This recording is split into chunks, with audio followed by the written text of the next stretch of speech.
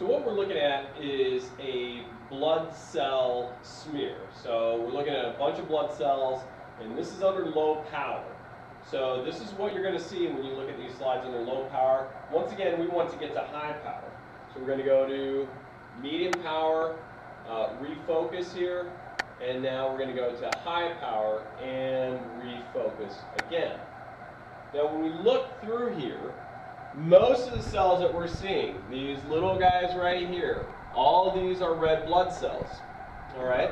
These little dots that you see here and there, those are platelets. Okay? So these are erythrocytes, red blood cells.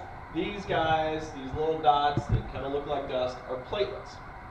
We are seeing a couple other of the white blood cells that are here. The one that's up here, that is a neutrophil. Now, neutrophils are going to have uh, lobes in their nuclei, anywhere from three to five lobes. We're going to take a look at a couple other neutrophils. They are the most common type of white blood cell. But the one that I wanted to show you right here, this is an eosinophil. And the thing about the eosinophil is that their cytoplasm stains, so it is, as you can see, a little redder than what these red blood cells are. So that guy right there is an eosinophil. Now let's look to see if we can find some more. Down here. We pass, there are two neutrophils. We keep moving down here. We are also seeing, here is a neutrophil, here is a neutrophil. This is a monocyte. So monocytes, once again, are the largest white blood cells. So much, much larger than any of the other cells that we'll see. Move over here.